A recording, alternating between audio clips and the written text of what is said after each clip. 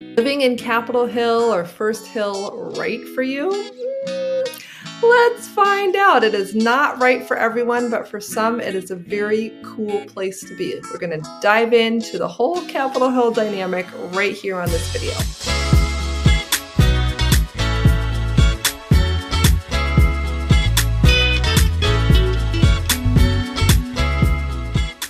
My name is Emily Cressey. I'm a local real estate agent in the Seattle area, and my goal with this channel is to help you get an idea for what it's like to move to Seattle, find the neighborhood that's right for you, and buy your dream home where you're going to be happy long term. I am not a slam bam, thank you, ma'am type of realtor. I really want to do the research, the background education to help you have all the information you need to make a good decision, including walking you through it going out on your behalf to do video tours of neighborhoods or homes that you're interested in.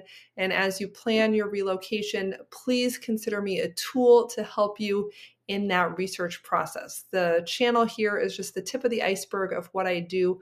I really want to meet with you on Zoom or whatever it is and help you plan your transition to our beautiful city here in the Evergreen State.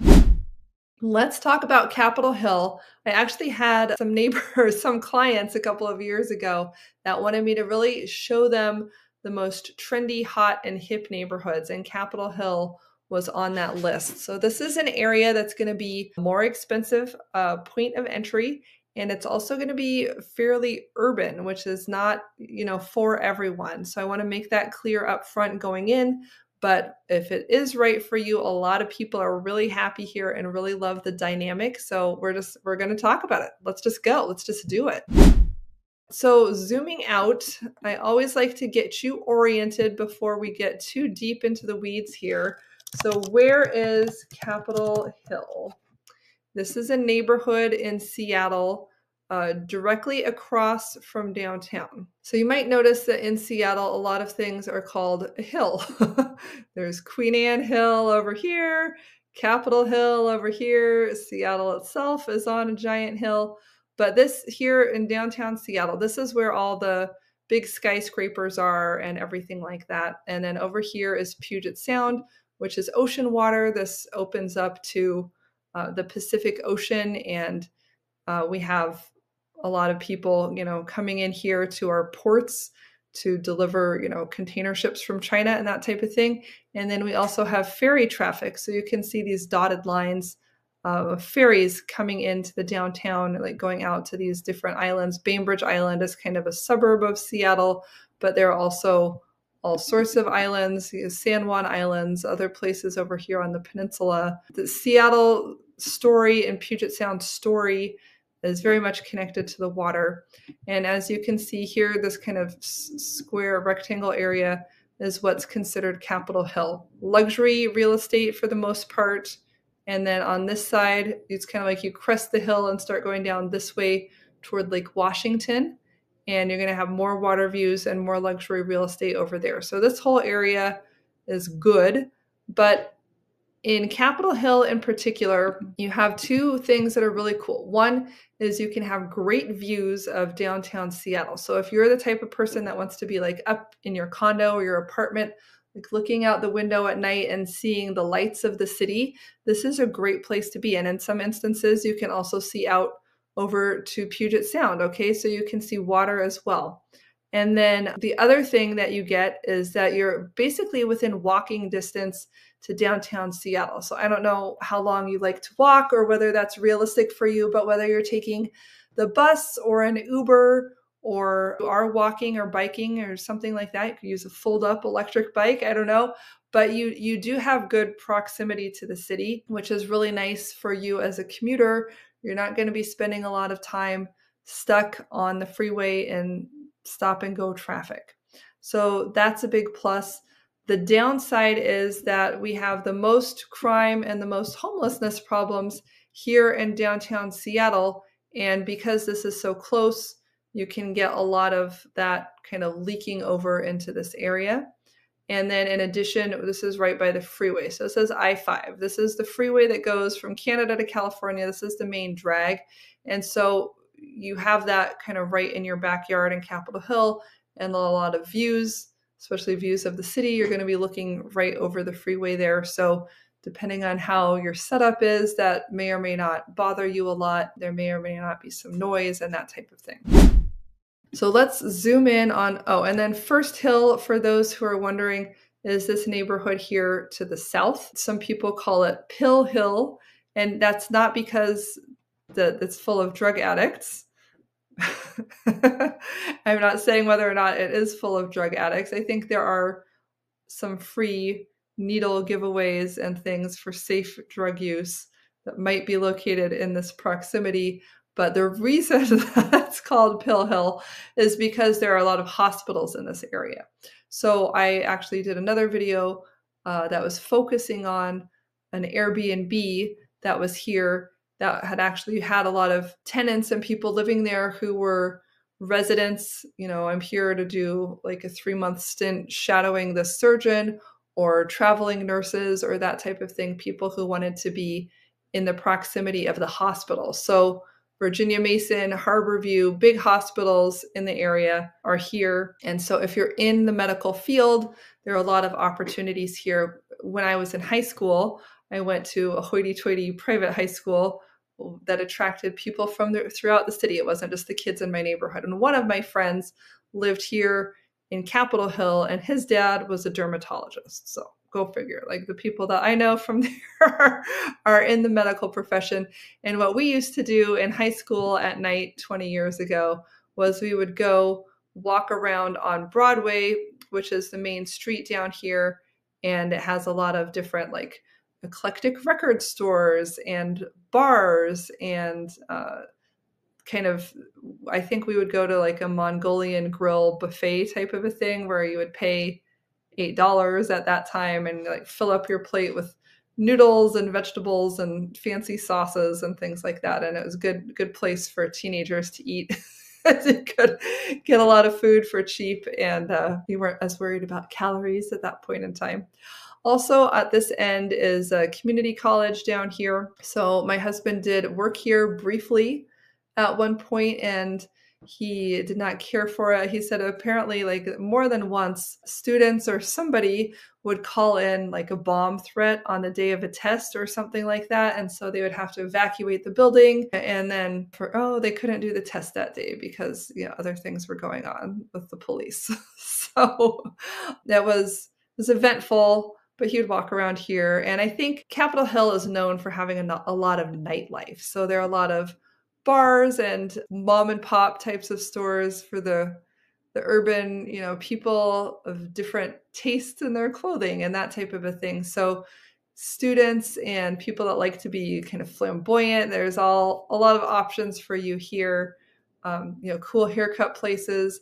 There are places my husband's gone on corporate events here for like axe throwing, for like drinking beer and going bowling and, and different things like that. So there's a lot of that kind of nightlife bar scene, clubs type of stuff here on Capitol Hill that I don't see as much of that happening at night in downtown Seattle. I feel like downtown Seattle is a lot more corporate.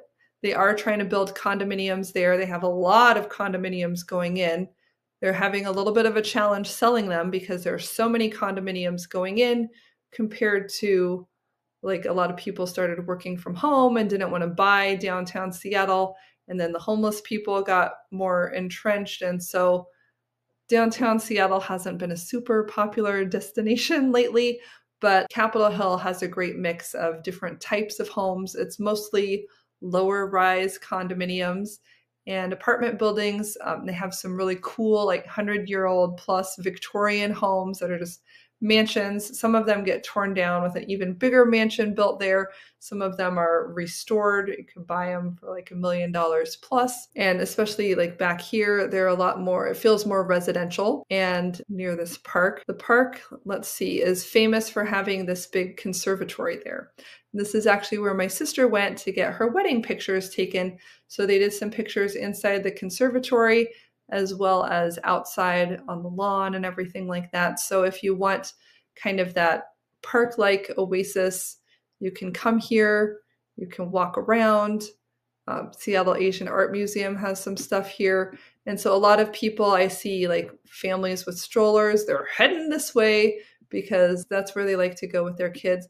I've also seen people here, like when I was there with those other clients, we went out to brunch, not brunch, we just went out to coffee, like at a local mom and pop coffee shop. And it was absolutely packed, you know, mid morning on the weekend.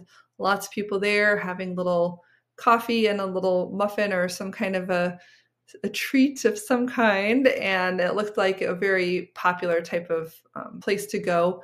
A lot of people ask me about community and meeting your neighbors and kind of having that sense of belonging and knowing people. And this Capitol Hill community does seem to allow for that because, uh, number one, there's a lot of walking around. I find in Capitol Hill in particular, you can park there. There is some degree of, you know, available parking on the street, but it's not so free and easy that people just jump in their car to do things. This is more like you can roll out of your house and take the bus to downtown Seattle or somewhere else. You can walk to somewhere, you walk, walk to the corner coffee shop, walk to the park. So I think a lot of what comes down to um, having that sense of community is having a walkable neighborhood. And do people choose to leave their homes without the protection of a car so that you can see each other, you can smile, you can wave, you can chat as you, you know, pace each other on the way to the park, or I've seen you here at the park before those types of things. Oh, I also had a great time here. We went, I think my mom had read about it in the paper, but we went for my sister's birthday one time, just like a ladies' day out to uh, this place that it was like a Mexican hot chocolate type of place. So they had all sorts of different fancy hot chocolates with cinnamon in it or hot peppers in it. The one that we got that I think was the favorite amongst us was one with Colby cheese in it. So maybe cheddar jack cheese. It had little cubes of cheese, and you would drop it in your hot coffee and then it, or your hot cocoa, and it would kind of melt, and then you could spoon it out, and it would be all like stretchy, like a grilled cheese sandwich or something. It was really a fun, like, oh, this is interesting, and the people were really from Mexico, and it was very cool and not something that you would normally just like find in the suburbs. It's more like, hey, I'm out with my friends. We want to find something to do that we can post on Instagram or tell talk about at work later. And so here's a cool experiential type of place. And I will say that that place did have a glass door and it had the glass door was boarded up. So it had been broken, broken into, broken, what you know, a couple times. And so they were having, you know, while at the same time having a cool restaurant, having a little challenge with urban blight and that type of a thing too. So overall, great place to come. You have to be a little bit streetwise here because there are going to be randos walking around, but also that's part of what makes it beautiful is that you do have the chance to meet other people in your neighborhood and your community. And I think some of that depends on like, are you walking during the day? Are you walking at night? Are you walking alone? Are you walking where there are bars? And like, what's, we always have to use our situational awareness and kind of find out what the right vibe for us is. But on a beautiful Saturday morning. It's a great place to go walking, great uh, community transportation. And as you move south, similar idea, you're going to be close to, there's the Seattle University right there. You're going to be close to the hospitals over here. But then, like, I had some other people that were looking for an investment property and they had been looking at some condos here.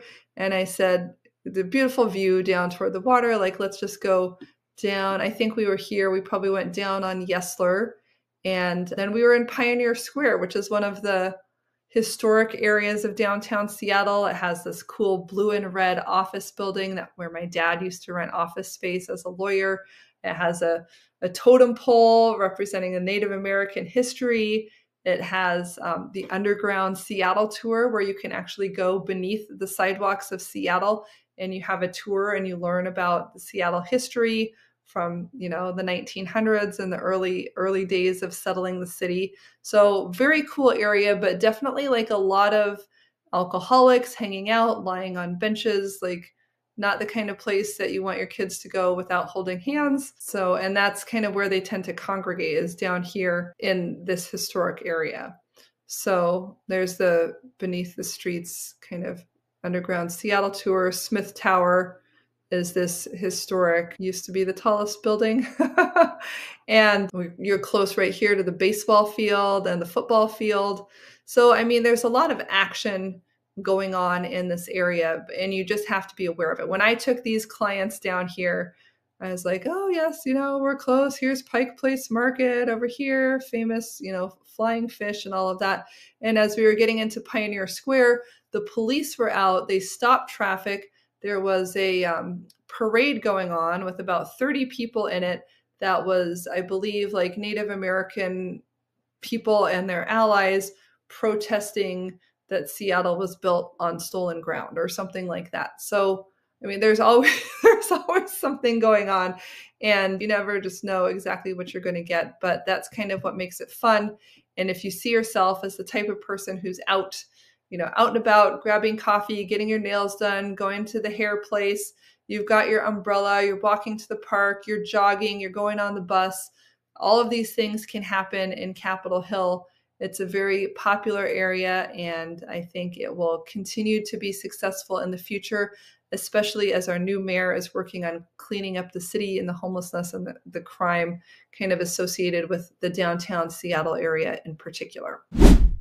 And finally, let's just take a look at what kind of homes we can find in this area. So if you are thinking about buying something here, you can kind of get an idea of what's available. So I'm including First Hill in this just to give us a little bit more perspective. So let's take a look at the results. Okay, here are the results. So let's just take a look at price ranges. So on the low end, you're going to find a one bedroom, 600 square foot condominium or co-op. Cooperatives are fairly common around here.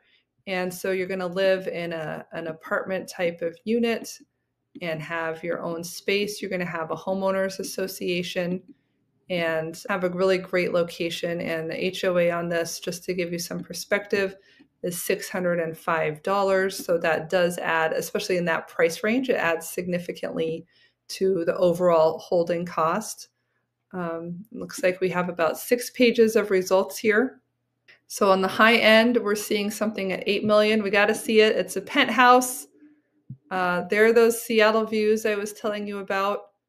Look at that. Gorgeous interior. This looks like a penthouse of another condominium building. Um, and the HOA dues on this, 10,000 a month. Oh my goodness. Okay, well that I guess it's just it's not for me. Let's look at the next level down, a little more realistic. We see lots of stuff in the $1 million range. So lots of condos, I can't tell. This might be a single family home, kind of a, a, townhouse style vertical build. It looks like it may not be detached there. Let's look at a couple other options. Here's a non detached home, three bedroom, two bath, 2,000 square feet, 1.2 million. Uh, this looks like a three bedroom condo on the 22nd floor of the building here. So lovely. And we're seeing a 2000 a month HOA on that. These downtown HOAs tend to have a lot more expense to them than like something I would see in Lynnwood or Everett north of Seattle. Uh, let's look right in the middle price point, kind of this average here around 500,000 or so. You're going to be able to get a two bedroom condo for 925 square feet for this is priced at 550 at the moment. So you're not going to get as much of a view, not as much of a premium location, not as much space, but certainly more than adequate. This has an $800 a month HOA. Next one looks similar. Beautiful building, interiors, nice floor. On these condominiums, you really have to take a look at what's going on with the homeowners association. Not only what are the dues right now, but how well are they maintaining the building and if they've been putting off things like a roof or if they haven't been saving up enough for those things can really come back to bite everyone at some point with a special assessment. This one is only $600 a month HOAs. We go residential and not condo. We go from 140 to 26 searches, so not as many options there. But we go to the middle of this list. Oh, nice sunset view there. That's over the Olympics newer construction here. And this is something eclectic. I like this. Look at that kind of gingerbread, lots of paint, a little deck. They have a lot of these garages out by the road with a flat roof, so you can make that into a deck or patio space. This is very kind of typical, like this era of, of homes. Let's see when this was built. Yeah, 1904. Updated. Beautiful. So that gives you kind of an idea of what these houses are like. We have old houses, we have new construction, and we have condominiums at every price point. Just make sure you take a look at the Homeowners Association. Thanks so much for watching this video with me. I hope that gives you a little bit more of an idea of what to expect down in Capitol Hill and some sense of whether or not this is going to be right for you. So let me know if you have further questions. You can write them in the comments. I would love that. You can look me up on my website, homeproassociates.com. All my contact information is there. Or you can just keep watching and subscribe to the videos. Until then, I'll see you on the next one.